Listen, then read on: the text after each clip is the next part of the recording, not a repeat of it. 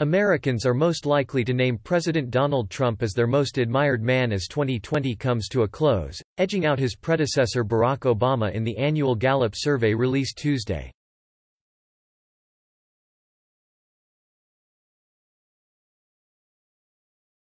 Trump's top-place finish ends a 12-year run as most admired man for Obama, tied with Dwight Eisenhower for the most ever.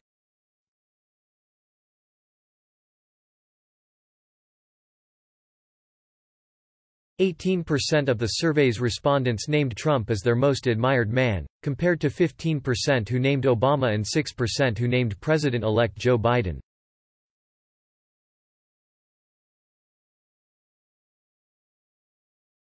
Another 3% named National Institute of Allergy and Infectious Diseases Director Anthony Fauci, while 2% said Pope Francis.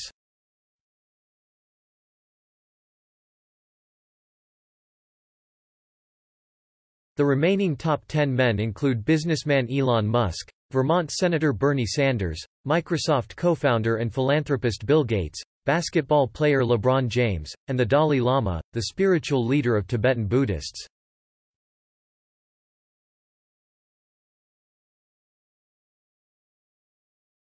Trump's rise to the top in the public consciousness has been slow but steady throughout the year, as Breitbart News reported.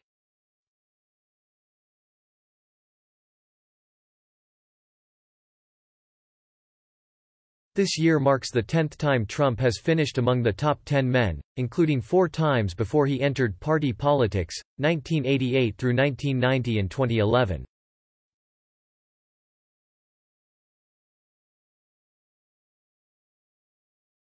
Gates has finished in the top 10 a total of 21 times, while Obama has now done so 15 times and the Dalai Lama 11 times.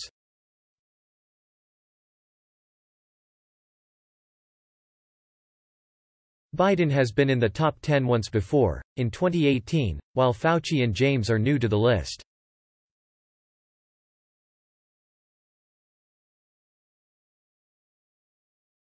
The Reverend Billy Graham, who passed away in 2018, finished among the top 10 a record 61 times during his life.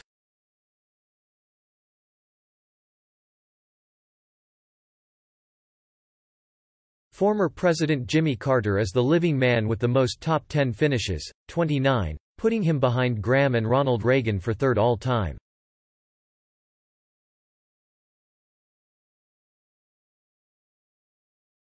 Carter finishes just outside the top 10 this year but made the 2019 list.